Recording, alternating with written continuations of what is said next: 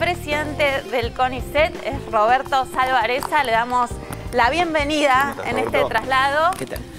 Eh, bueno, agradecerle la posibilidad de estar aquí con ustedes, con la audiencia de Canal 7 y compartir unos minutos sobre la actualidad de la ciencia en Argentina. Bueno, un tema que, bueno, que, hablábamos antes de, entrar al aire es esta creencia, ¿no? Cuando uno pensaba, bueno, ¿qué se va, ¿Qué, va a ser el nene cuando crezca? ¿no? Bueno, va a ser abogado, contador. Si algún hijo o hija decía, bueno, quiero estudiar biología, marina, por ejemplo, los padres ya se agarraban la cabeza, no te vas a morir de hambre. Parece que todo esto no es tan así. Bueno, eh, vos sabés que eh, el CONICET en los últimos tiempos, sobre todo en los últimos 10 años, que había una, eh, una fuerte este, política dirigida a apoyar la ciencia y la tecnología en la Argentina, está formando una cantidad de, este, doctores a través de su plan eh, de becas. Y es así que surgen este tipo de preguntas. Hay muchos becarios jóvenes eh, trabajando en diferentes áreas que van desde las ciencias sociales a las, biológicas, a las exactas. Y esta pregunta es muy común.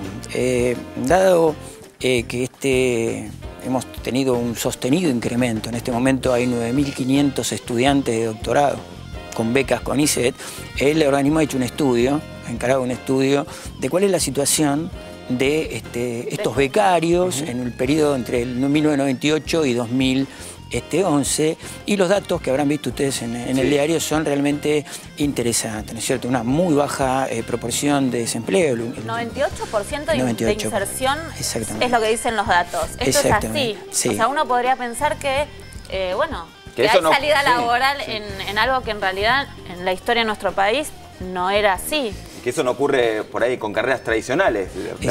exactamente, hay que tener en cuenta que eh, la Argentina tiene eh, una proporción de doctores con respecto a población económicamente activa que es la mejor de Latinoamérica, pero aún así estamos por debajo de la eh, proporción que hay en países más desarrollados. Por lo tanto, necesitamos más doctores y formar más doctores. Pero lo importante es que estos doctores puedan a su vez insertarse en la sociedad. Los datos que se muestran que hay un 50% de, este, de estos este, becarios, doctores que eh, continúan en el organismo y un 50% aproximadamente que lo hacen en otras esferas que van desde las universidades nacionales a la, actividad privada, eh, algunos como eh, digamos, con sus propios emprendimientos, otros trabajando en ministerios, en la gestión pública o en otros organismos. Hay todo una, un espectro de posibilidades para aquellas personas que están haciendo una carrera académica y que luego tienen la posibilidad de salir al mundo laboral y de alguna manera insertar sin mayores problemas. Porque también lo que hizo el CONICET fue como abrir ¿no? este aspecto de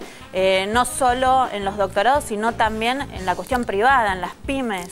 Exactamente, el, tema, es decir, cuando vos te propones eh, y desarrollas una política en la cual estás formando 10.000 este, doctores, tenés que pensar justamente en que estos doctores no pueden ir a parar exclusivamente al ámbito de la propia institución, sino que si no sería directamente un sistema endogámico, sino que lo que el CONICET está trabajando es en eh, doctores eh, para el país.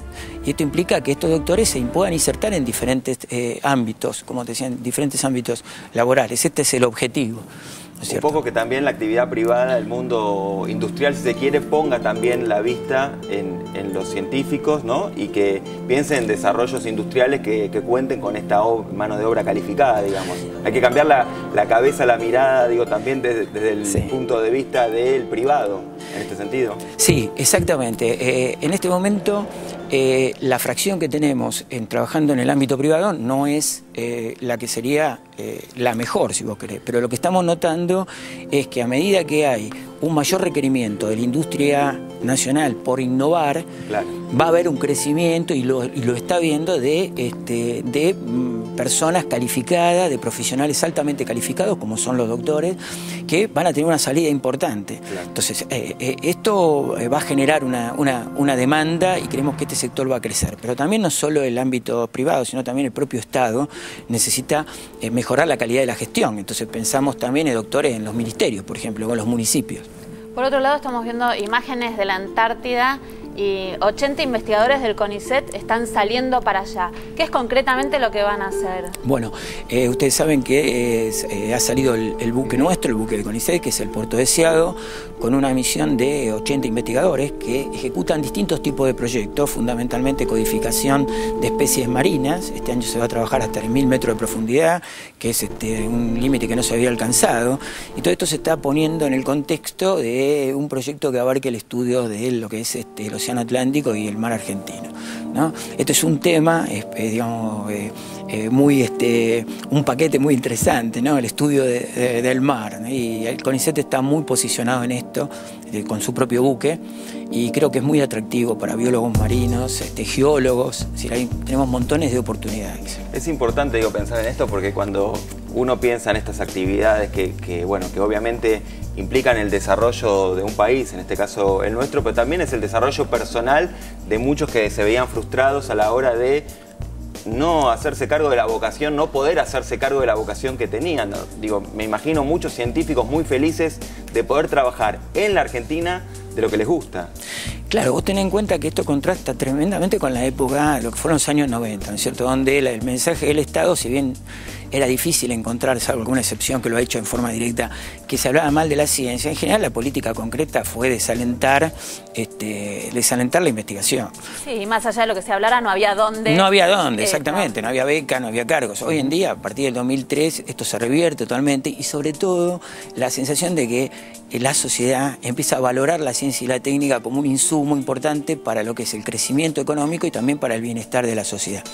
Eh, el CONICET brinda un ámbito muy particular porque eh, si bien eh, muchas veces no se compite en el sueldo con la con la este, con lo que es la actividad privada, los sueldos hoy en día, los salarios son muy buenos y aparte permite esta posibilidad de concreciones personales y de desafíos intelectuales. Que tiene un valor que tiene un valor agregado invalorable. efectivamente, que para aquellos que tienen vocación, efectivamente pesa más estos aspectos que los aspectos económicos. Si bien nosotros creemos que la formación doctoral este, es muy importante para el ámbito privado también, cierto? Las empresas, los organismos de Estado tienen que valorar el doctor como un eh, profesional que tiene un plus un plus en su creatividad, en su capacidad de, generar este, nuevas alternativas, de innovar, mm. ¿cierto? que es un poco lo que, lo que requiere la industria hoy competitiva. Y no solamente tenemos que pensar en el tema de los aspectos tecnológicos ¿no? que, están, eh, están relacionados con el dinero, sino también estamos pensando en doctores que aporten a lo que sería, como te comentaba antes, la gestión pública, la calidad. Hay, hay eh, doctores del área de sociales, por ejemplo, ¿es cierto? que pueden trabajar en conjunto con los municipios en inclusión social, en el tema de pobreza, hoy el caso de los hospitales, el tema salud, ¿no es cierto? Donde los doctores contribuyendo en, el, propio, en el propio mundo hospitalario a la investigación clínica. Hoy en día el Ministerio, que ha apoyado notablemente, con la creación del Ministerio, que ha creado notablemente potenciado las capacidades de, aporte del CONICET a la, a la, asociación, un vínculo fundamental. ¿no? Entonces tenemos muchos aspectos, no solamente el aspecto tecnológico, económico, donde hay plata. A veces pareciera que se reduce a la ciencia y en realidad el CONICET es mucho más grande de lo que quizás se, se, sabe o la gente común cree. ¿Cuánta gente trabaja? ¿Cuánto, ¿Cómo se dimensiona el CONICET? Bueno, mira, realmente es el organismo que, este, yo te diría que el organismo vertebral de la ciencia y la tecnología en la Argentina. Eh, hoy en día hay 20.000 personas involucradas en CONICET, de los cuales tenemos 7.700 investigadores, aproximadamente unos 2.500 técnicos, que todos eh, son staff permanente del, CONICET, y después tenemos estas 10.000 este, estudiantes eh, que están haciendo su formación doctoral. Ese es un poco el mundo CONICET, es un mundo muy amplio, y esto está distribuido en 180 centros de investigación que son del CONICET y que comparte con las universidades nacionales, que son nuestro socio, nuestro socio permanente, eh, y que están distribuidos de Tierra del Fuego hasta Misiones. O sea que es un CONICET federal, realmente. Hubo que trabajar mucho con este recurso humano, digo, en cambiar la mirada, la cabeza, digo, de que es posible eh, hacer ciencia en la Argentina, de que es posible trabajar y, lograr eh, los objetivos que se plantean?